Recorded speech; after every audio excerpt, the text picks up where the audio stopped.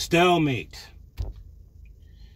A situation in which further action or progress between opposing or competing parties seem impossible.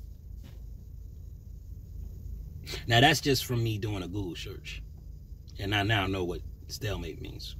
Uh, anybody who has a cell phone could put that in and find out what stalemate means. And uh, apparently, our president, you know, even though he was ill-informed, but as as he they keep saying he was ill-informed, uh, didn't understand what stalemate meant.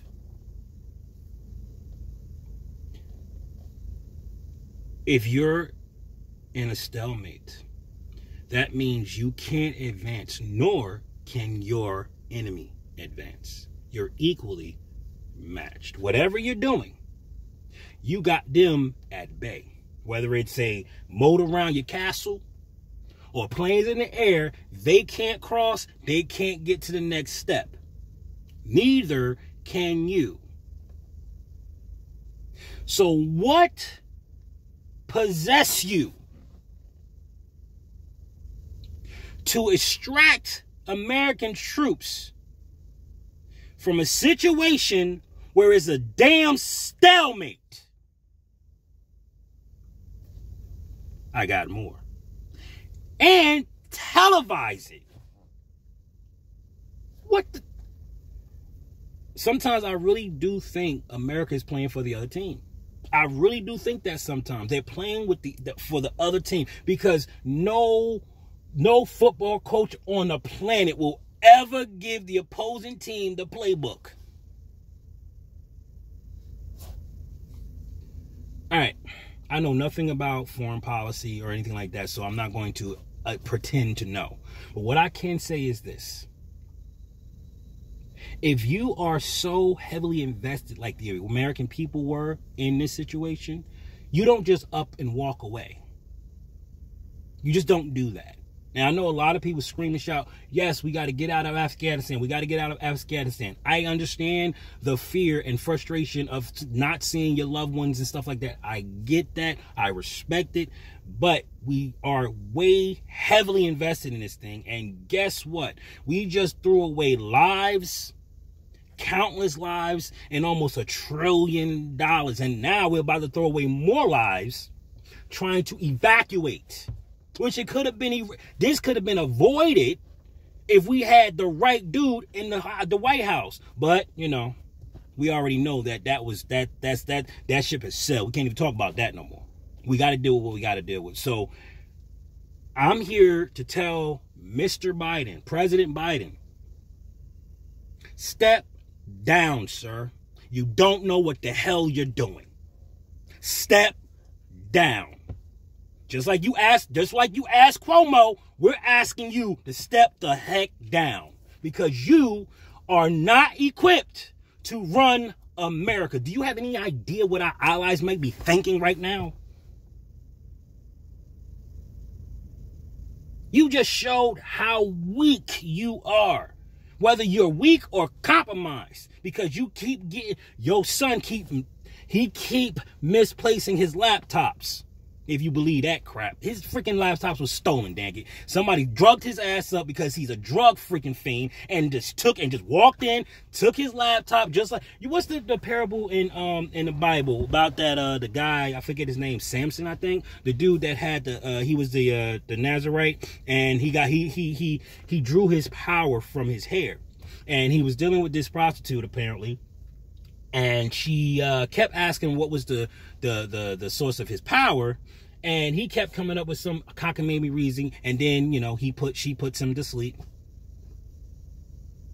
We all know how men, men get pushed to sleep by women right? We we know what went down you know. The, the bible trying to be you know discreet but we know exactly what happened you know. It, it, hey man look you know I, we've all been there once or twice. But when he wakes up, he finds that every single time she says she's going, um, she, um, he gives her a way to uh, uh, oh, she every time he tells her about his power, he finds out that she tried to see if it worked. And he breaks through the chains or whatever, the ropes or whatever, and then she starts to cry, and he, and he goes and tell her something else until he eventually told her the truth, and she chopped his hair off, and now he's in jail, blind, and he's begging God to give him power one more time so he can destroy the daggone prison. This is what's going on with Biden's laptop.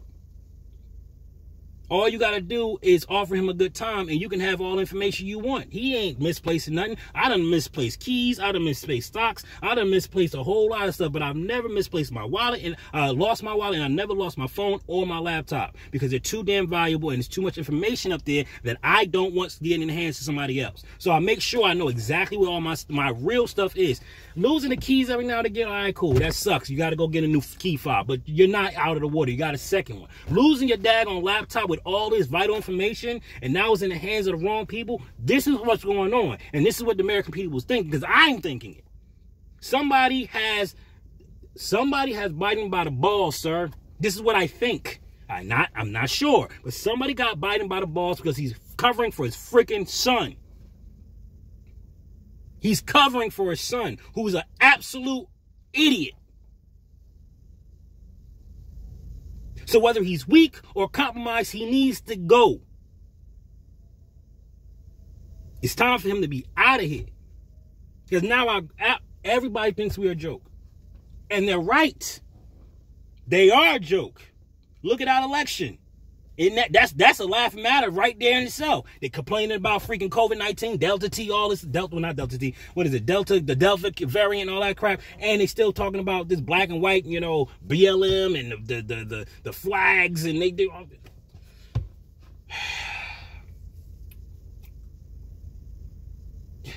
America, uh, if you don't unite now, there, there, there may not be an America to unite for. Okay? All right? Doesn't matter if you liberal, doesn't matter if you conservative, don't matter what trail what what what side of the track you're on. At the end of the day, what's going on in Afghanistan is a problem. It's a problem. Okay? Our reputation is hanging by a thread as we speak. It's hanging by a thread. Somebody has to answer for this. A trillion dollars gone. Countless lives gone. More lives about to be gone. Somebody has to answer for this. You are negotiating with terrorists, sir. Well, we hope they do the right thing. What? Did that come out? Did that come out of your mouth? Or your party's mouth, I should say. It came out your party's mouth. We hope. Was it Nancy Pelosi who said? I can't remember who said it. Why would you think the terrorists who are they're itching to take this country over is going to play nice?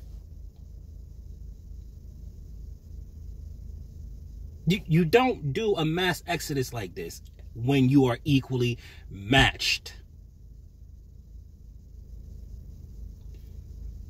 Okay, I'm done with this one.